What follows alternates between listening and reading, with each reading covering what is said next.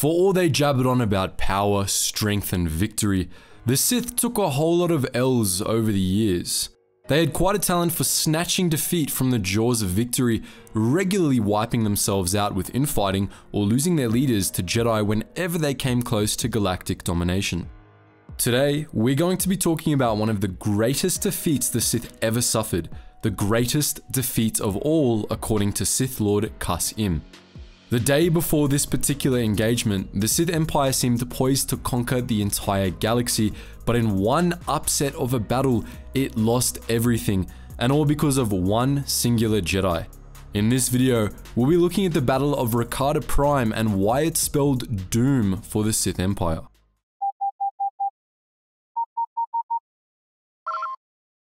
Attention, Sergeant on deck! The Battle of Rakata Prime was the final battle of the Jedi Civil War, and to understand the significance of the battle, we need to understand the war as a whole.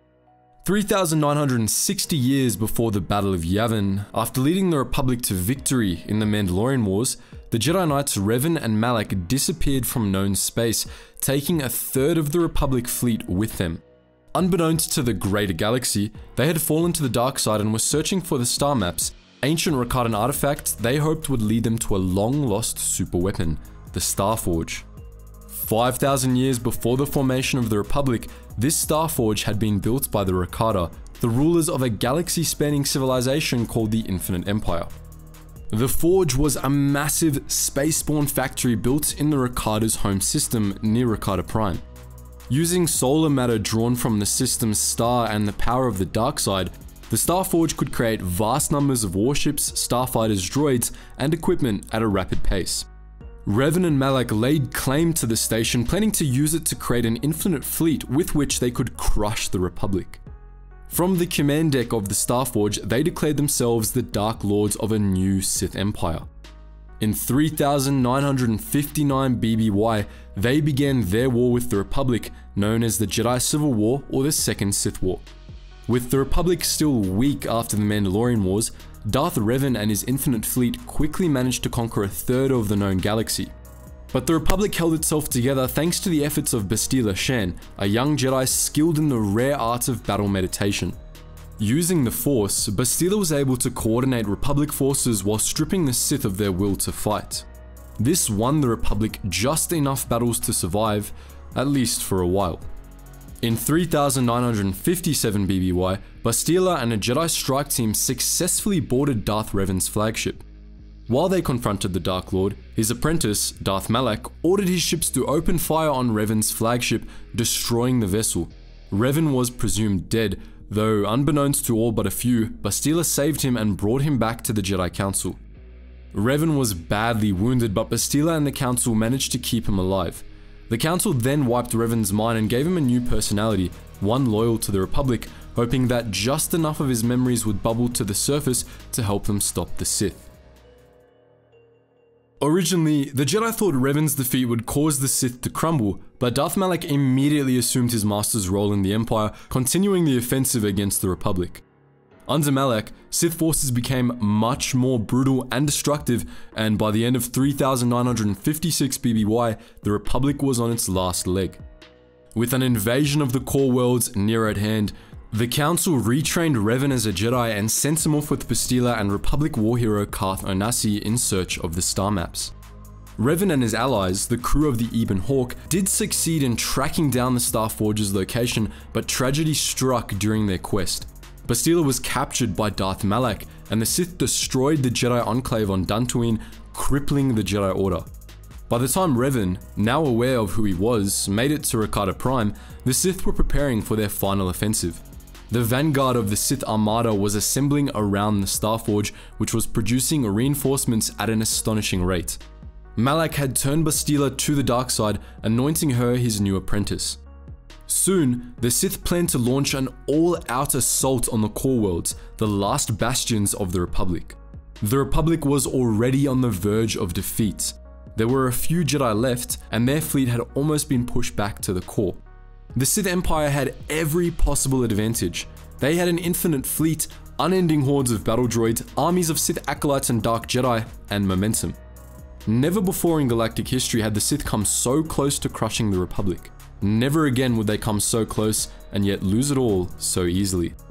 All of the leading figures in the Sith Empire were present at Rakata Prime. Malak, Bastila, and the greatest of their Dark Jedi were all aboard the Starforge, while Admiral Varko oversaw a fleet of Sith warships. The Starforge was surrounded by large numbers of Interdictor class cruisers, odd beak-shaped warships that were the mainstay of the Sith during the Jedi Civil War. The Starforge was continually producing new interdictors as well as vast swarms of agile Sith fighters. When Revan and his allies discovered the Starforge, their ship, the Ebon Hawk, strayed into a disruptor field and was forced to land on Rakata Prime. After transmitting the system's coordinates to the Republic fleet, Revan, Carth, and the others shut down the disruptor field, which was being projected from the Temple of the Ancients, a Rakatan construct the Sith occupied. There, they learned that Bastila had fallen to the dark side but had no time to dwell in it. The Republic Navy was already on its way.